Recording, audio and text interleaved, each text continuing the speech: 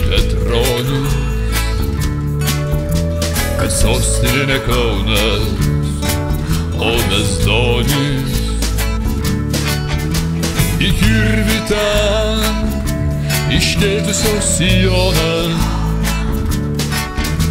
išėjo moteris šturmuoti Babilono.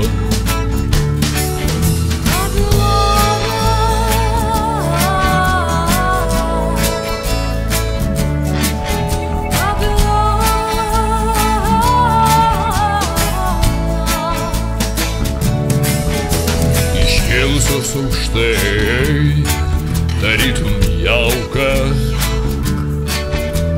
pranašo sėdžios, barzdos plauka. Mėlyna balta, o kartais raudona. Moteris šturmuoja Babiloną.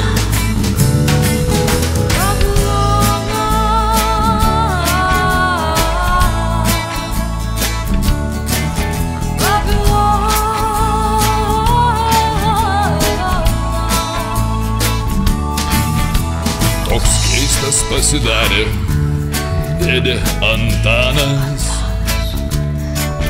Nuo tada, kai jį aplankė kontrakultūrinį šamaną.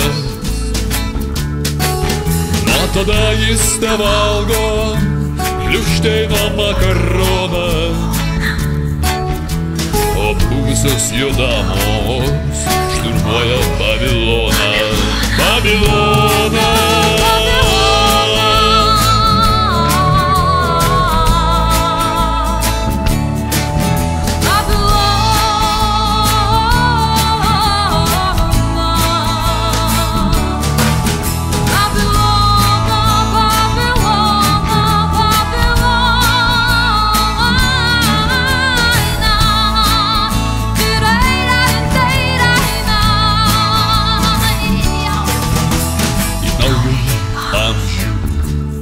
Į rojaus sodą. Mes skrendame drąsiai, sėdėdami ant puodo. Bet pasaka baigės, užlūžo gramofonas.